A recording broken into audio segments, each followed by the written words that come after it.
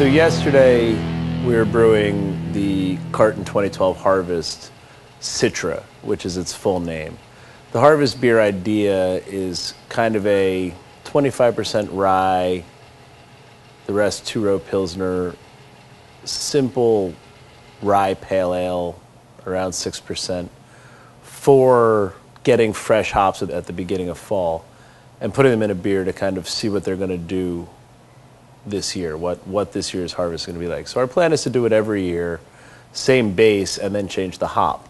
So this year what we're doing is it's a whole flower wet hop, whole cone wet hop Citra, and then we're going to dry hop with dried whole cone Amarillo. Um, and that'll be this year's. And next year's, you know, maybe two other, there's eight hops in boat and nine in 077. So we can pick a bunch to do next year, or we can go a totally different way and do them differently. But it's autumn. We thought a little bit of spice, a little bit of rye spice and a pale ale was a good platform for looking at the hops.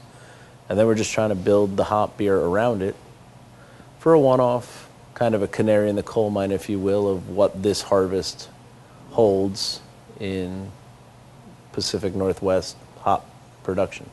Carton Harvest 2012 with, uh, with fresh Citra hops. We can only get them once a year. They, they, they harvested them and they sent them uh, overnight to us, and we received them uh, yesterday. We brewed half the uh, batch yesterday, and we brewed the other half today.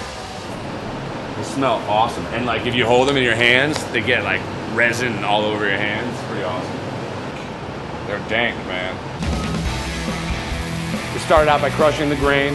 We then conveyed the grain using the augers from the mill through the grist case to the mash tun.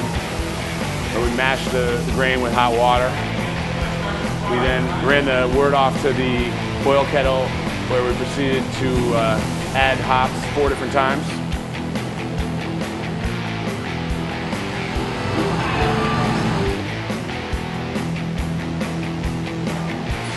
So we just added the bittering hops at 355.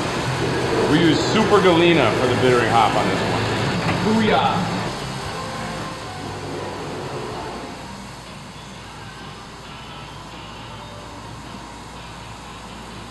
Uh, after a 20 minute whirlpool, we ran the hot wort over 25 pounds of fresh Citra hops, harvested from Yakima, Washington, the day before we brewed it. Smells good, huh? If only that thing could record smells, you know? So that's what we're stripping out of it right now.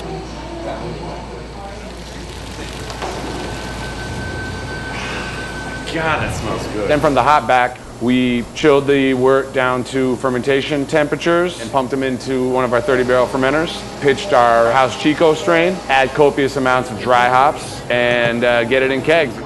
Year to year, hops definitely vary. Dealing with those variations is what makes brewing more an art than a science. You, have gotta quantify what the flavors are and make them work the way you want them to work.